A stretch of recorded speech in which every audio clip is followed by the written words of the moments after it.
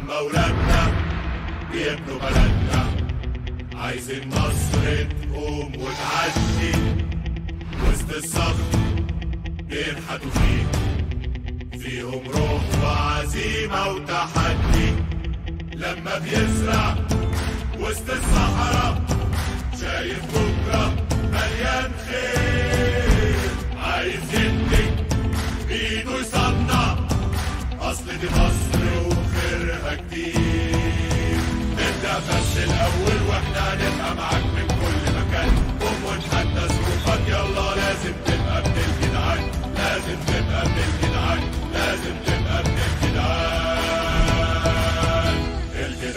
أهلا بحضراتكم في حلقة جديدة من برنامج الجدعان. النهارده إحنا موجودين مع حضراتكم في مركز مصر للمعارض الدولية. هنحضر معرض الورق والكرتون والورق الصحي وكل مواد التعبئة والتغليف والطباعه معرض هام جدا وخطير جدا وملئ بالفرص الواعدة للباحثين عن أفكار للمشروعات. المعرض بتتنافس فيه حوالي 316 شركة محلية وعالمية منها حوالي 130 شركة عالمية بتعرض منتجاتها إذا هو معرض شديد الأهمية. هنقابل جدعان. هذه الصناعات. هنقابل أصحاب مصانع الورق والكرتون. هنسمع منهم التحديات اللي بتواجه هذه الصناعات. خليكم معانا في حلقة هامة جدا من حلقات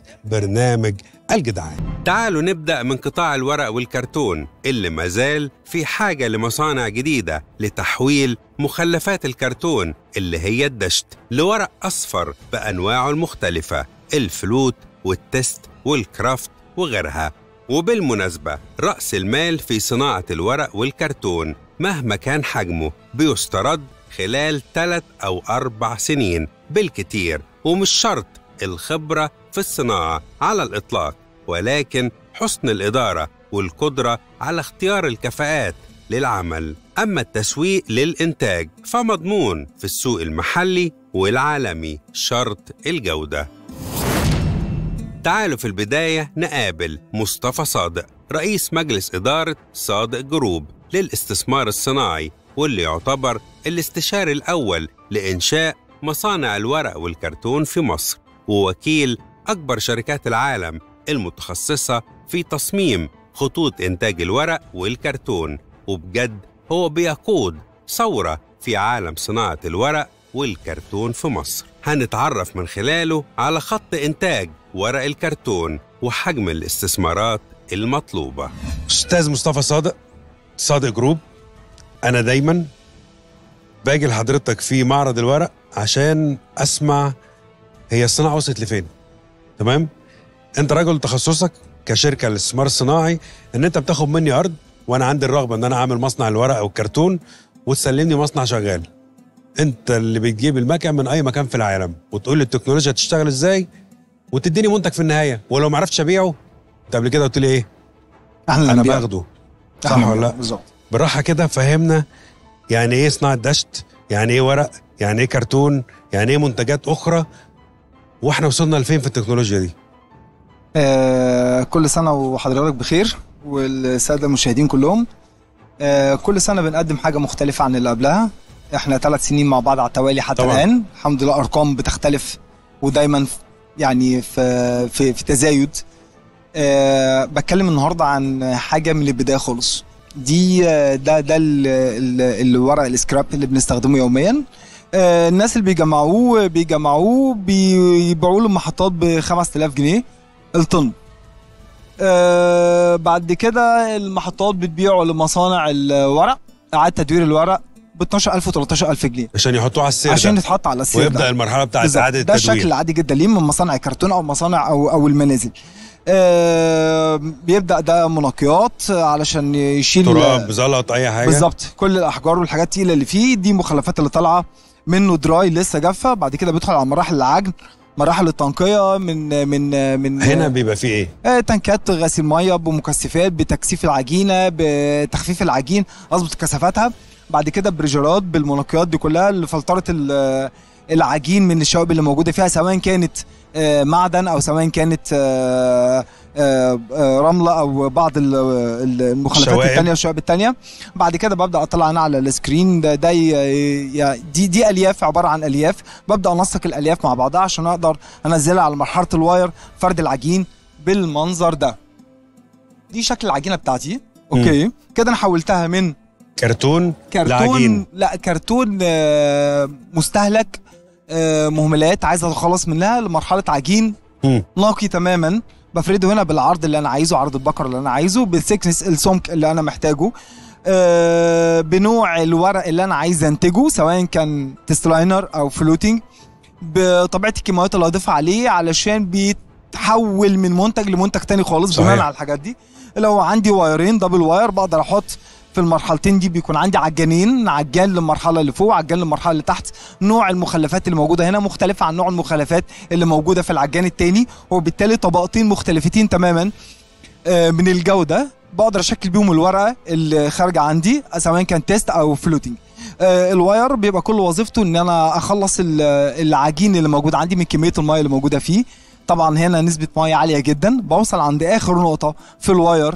تقريبا حوالي dryness نسبه جفاف حوالي 29% الباقي كله بيكون مية.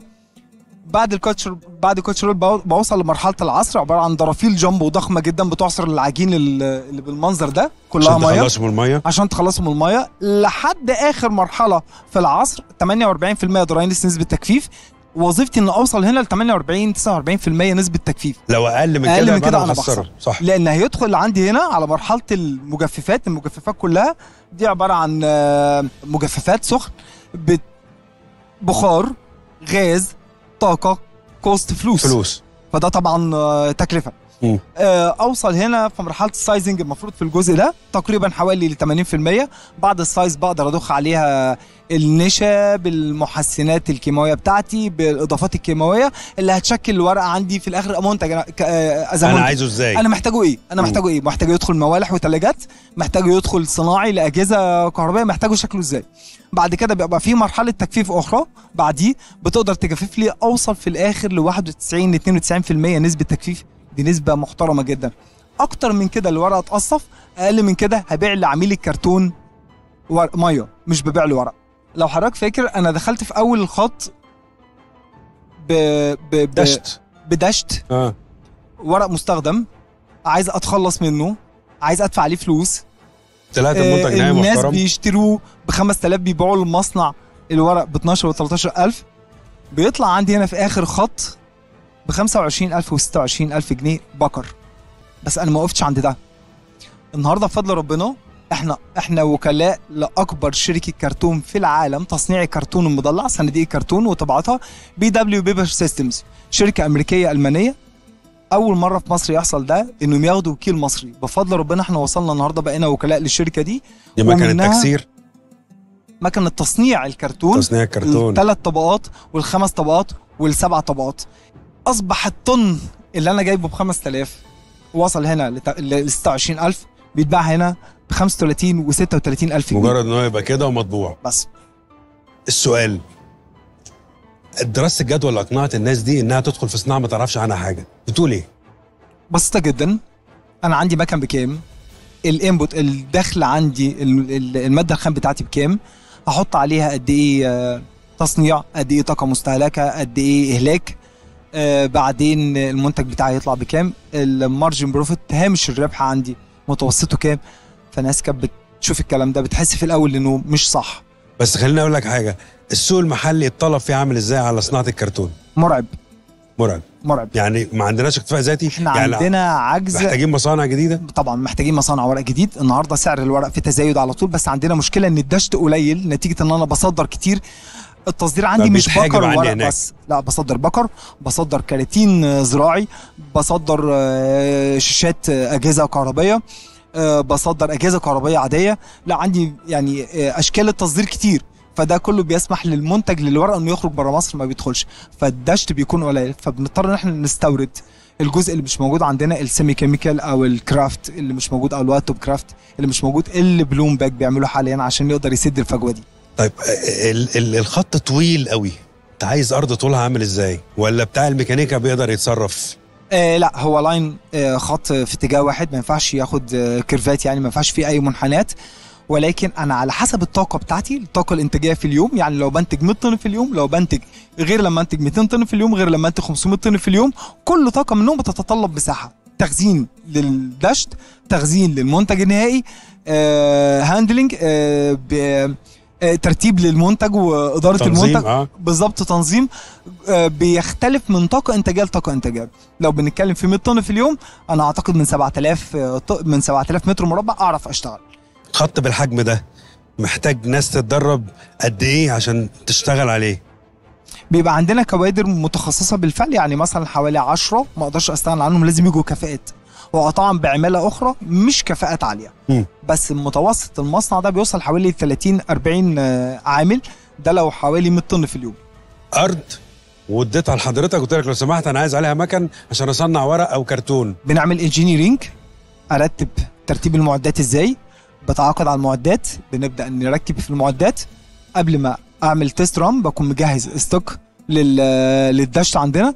بكون مجهز العملاء بنبدأ نعمل التجارب بتاعتنا. بعد ما ال product بيكون تمام ببدأ أعمل training تدريب للعمالة. بنسلم المصنع للعميل turnkey بال product بالمنتج بتاعه.